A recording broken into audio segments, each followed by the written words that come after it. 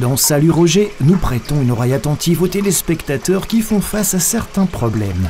Et cette fois-ci, comment réparer des toilettes qui fuient? Jetons un rapide coup d'œil à ce qui se trouve à l'intérieur du réservoir d'une toilette. Tout d'abord, il y a le mécanisme de chasse d'eau. Lorsque vous tirez la chasse d'eau, la soupape inférieure s'ouvre et l'eau du réservoir s'écoule dans la cuvette des toilettes. Le niveau de l'eau baissera à ce moment-là. Ensuite, il y a le flotteur. Cette partie flotte avec le niveau d'eau. Et donc, quand vous tirez la chasse, le flotteur descend avec le niveau d'eau. Le robinet à flotteur s'ouvre alors, ce qui permet à l'eau de remplir à nouveau le réservoir. L'eau remonte, le flotteur aussi, et la vanne à flotteur se referme, interrompant l'arrivée d'eau.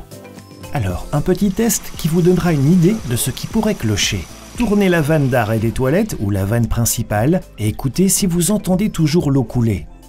Si cela s'arrête immédiatement, le problème se situe au niveau du flotteur ou de la vanne à flotteur.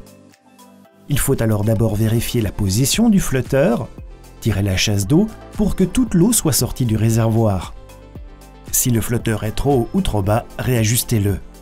Et la suite de la procédure dépend du modèle de la valve à flotteur. Dans notre cas, il y a une vis de réglage que vous pouvez tourner. Cela vous permet de régler le flotteur de manière à ce qu'il ferme parfaitement le robinet lorsque l'évier est plein, sinon l'eau continuera à couler.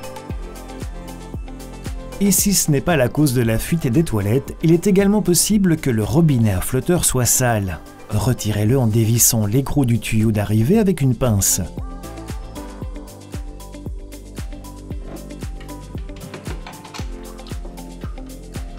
Nettoyez-le ensuite avec de l'eau et un produit naturel comme le vinaigre ou une combinaison de vinaigre et de bicarbonate.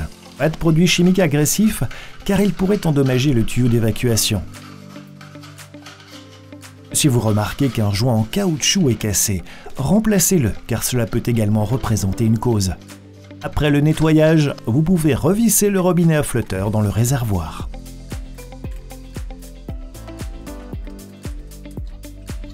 Ça ne peut pas faire de mal de démonter le mécanisme de la chasse d'eau et de le nettoyer séparément. Ici aussi, vérifiez les joints en caoutchouc et puis nettoyez soigneusement toutes les pièces avec de l'eau et du vinaigre.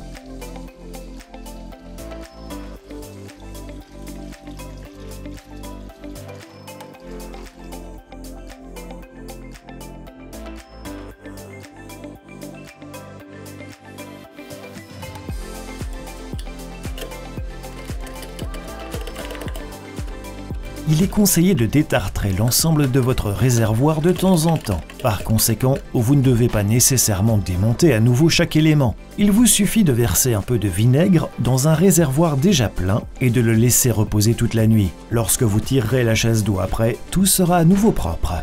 Vous pouvez également détartrer la cuvette des toilettes de la même manière. Et si vos toilettes s'écoulent toujours après tout cela, vous devez probablement remplacer le système de flotteur ou le mécanisme de chasse, ou les deux. Mais d'abord, assurez-vous que le problème ne vient pas de la valve au fond.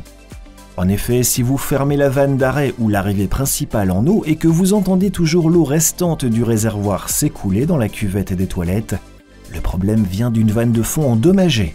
Il vous suffit de la remplacer. Encore une autre astuce de Roger, lorsque vous ouvrez une vanne, ne l'ouvrez jamais jusqu'au bout.